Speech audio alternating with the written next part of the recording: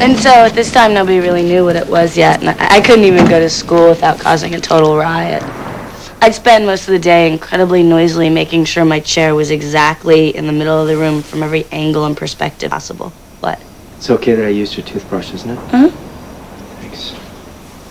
And then when I got the chair there, it wouldn't count unless I tapped this amazing drum roll in the back of the girl in front of me's head, which of course would make her constantly freak out and complain.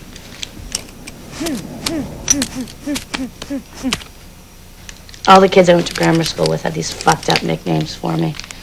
Call me like Mental Marcy and Spazzy and Twitchy. So finally, my dad took me to this doctor in Syracuse who said I was a biopsychosociopath and I had Tourette syndrome. Sounds awful. Sounds like a real drag. It's not really. I mean, now it's just kind of part of who I am. I'm used to it. All the touching and the shouting and all that stuff. It scares the shit out of people. Because everybody who has Tourette does different things. I have, uh, like, the, I have these muscle tics, like, tensing up and my head goes back. And uh, I also have this thing called uh, echolalia, which is when you have to repeat the same word over and over until you feel like in your throat that actually it's like I have this itch inside of me and if I don't tic or say the word exactly the way I need to say it, I just feel like I'm gonna fucking explode. Really?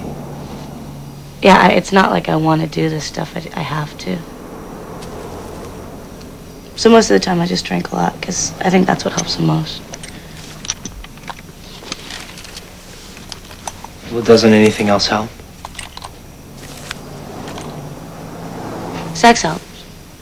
For some reason, sex helps.